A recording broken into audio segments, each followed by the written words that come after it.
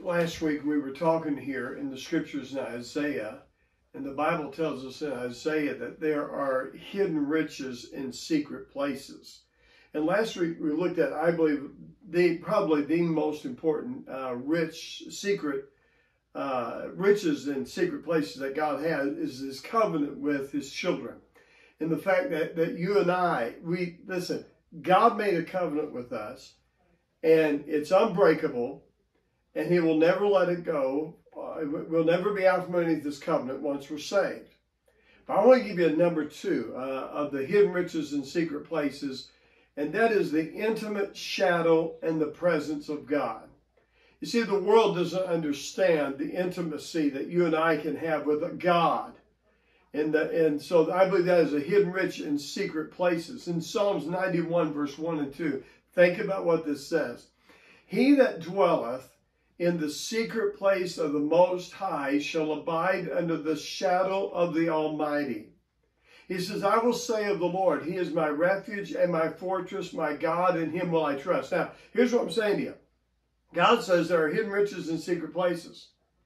I'm saying to you, according to Psalms 91, that the Bible teaches us that, that there's an intimate shadow, there's an intimate presence of God that we can know. I'm going to read that Psalms 91, verse 2, 1 and 2 again. He that dwelleth in the secret place of the Most High. So, guys, this secret place shall abide under the shadow of the Almighty. Now, listen, when you're under the shadow of something, that means you are extremely close to it.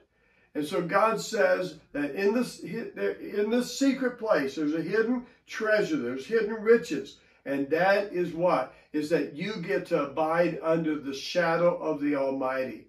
In Psalm 68, 24, it says, They have seen thy goings, O God, even the goings of my God, my King, where? In the sanctuary.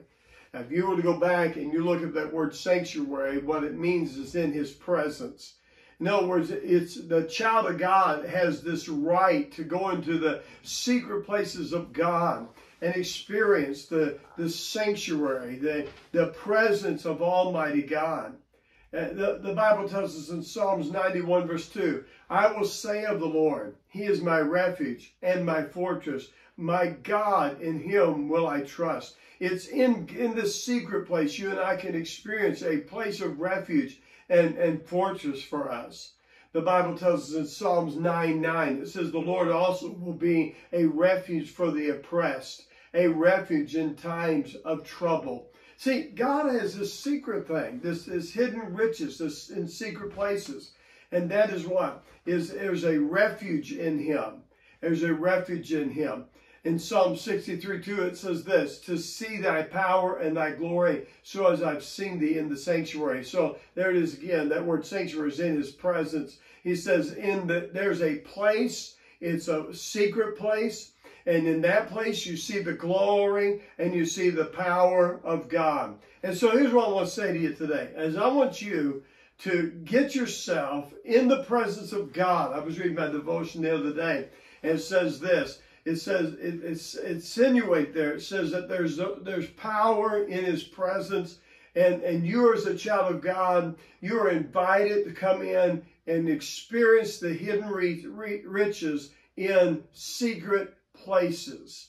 And we'll take up here next week and do another one. Don't don't miss it.